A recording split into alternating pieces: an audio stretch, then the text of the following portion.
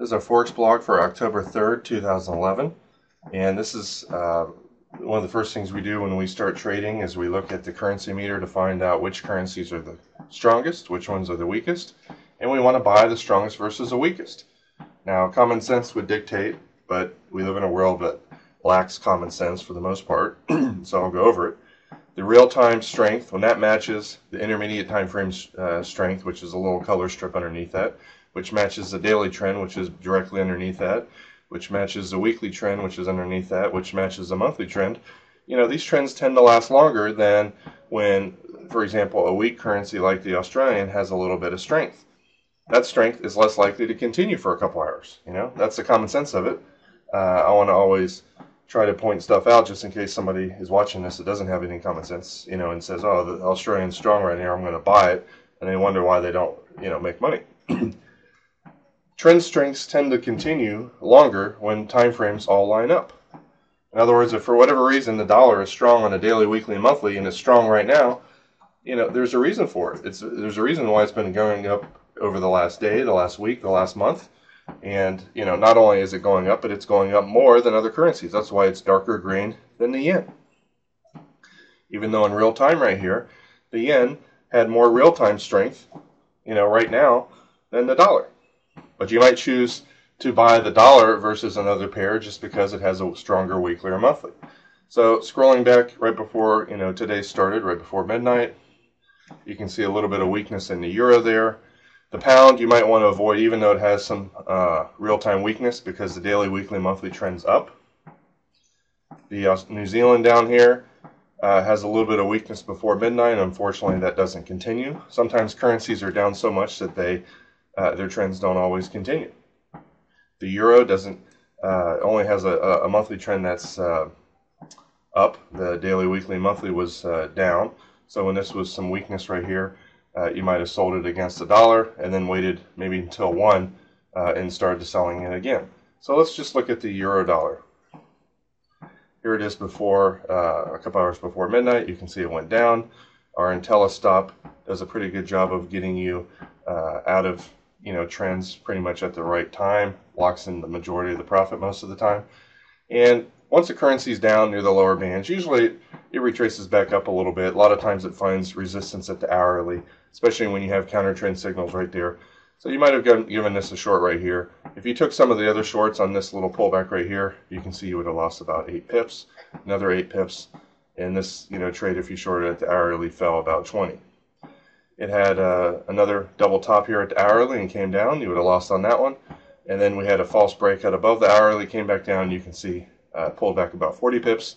And this trade right here uh, went about uh, 70 pips. and the low today was the Fibonacci profit target level I did last night. All of our mentor students get access to this. It shows up on your chart. And that's you know typically where the markets stall and reverse.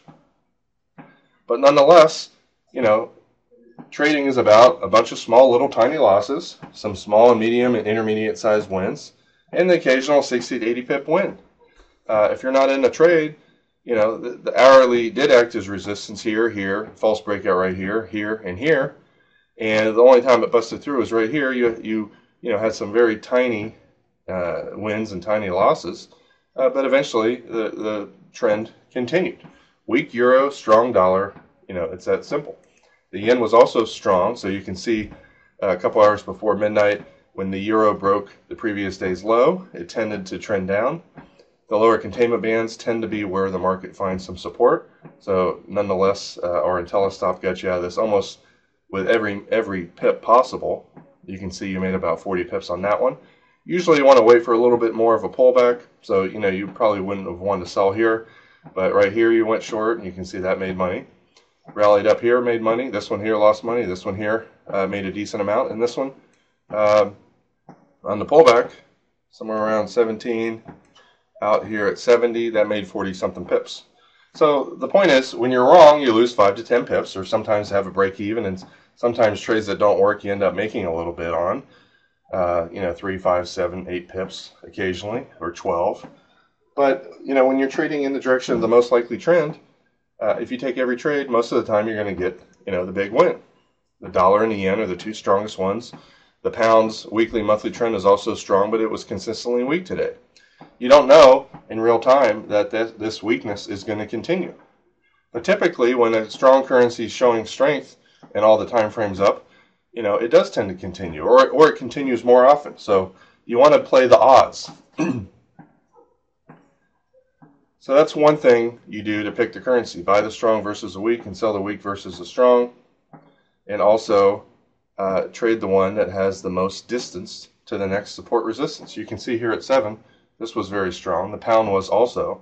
The only downside of the pound was the weekly monthly trend was up. So if you do see that, uh, and you want to trade the pound versus at that point the yen was stronger than the dollar, uh, you know, just accept a smaller profit target most of the time. Here's seven. You can see it was right near the lower containment band, right near a Fibonacci area. Area. I would not, with my own money, risk this trade because you know you got all this support underneath here.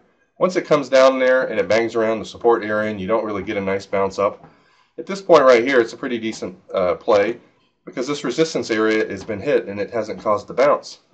And so when it breaks through there, it's likely to go to the next area, which is a decent number of pips down.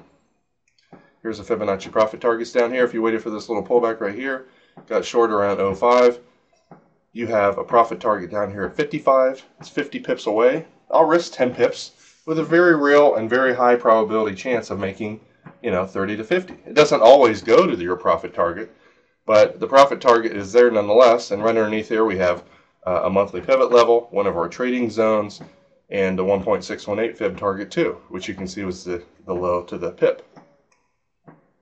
Anytime, you know, and if you miss that trend down, when a currency is underneath the 1. Point, or the 2.0 white containment band right here, usually if there's major support down there, you're going to get a bounce. So most of the time, you know, down here at this uh, resistance or support area, 45, you're very likely to get a 15 to 25 pip bounce, probably 70, 80% of the time.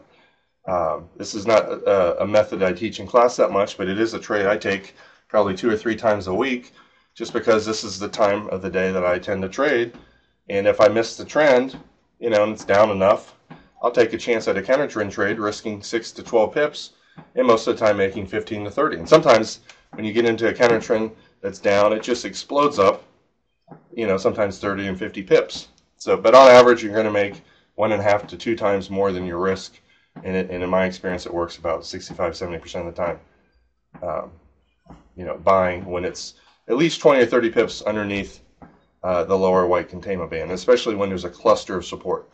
Any particular area that tends to have buying and selling orders stacked at it, like the previous days, weeks, and months high and low, weekly and monthly pivots, pre, uh, 10, 20, 50, and 200 day moving average.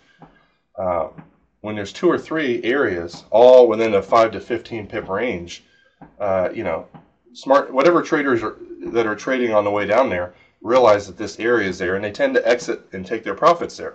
That not only is there buy level buy uh, orders there, but traders that are short are tend tend to want to exit there because they don't think it's going to bust through the first time, or at least they watch it, and if it doesn't bust through, they quickly get out. That causes a flood of buying, and that's you know the, basically the reason why uh, buying uh, way underneath or selling way above the upper containment band uh, makes money. Most traders, especially if they're new, just want to focus on, you know, the ones that are weak. The Swiss had some strength here, and then uh, at 7:30 it went weak. Most of the time frames are down. So at 7:30, you know, you have the Swiss, I mean the yen that's strong, also the dollar. Dollar Swiss uh, makes sense to look for buys at uh, 7:30. You know, 7:30 and after. Basically, this had pulled down, found support at the hourly, kind of had a false breakout underneath their previous day's highs right here. And you can see it went back up, pulled back. You had a chance to make maybe 10 pips here. In this trade right here, if you got in, the trailing stop kept you all the way in until uh, up here at 60. So you would have uh, made about 40 or so pips on that.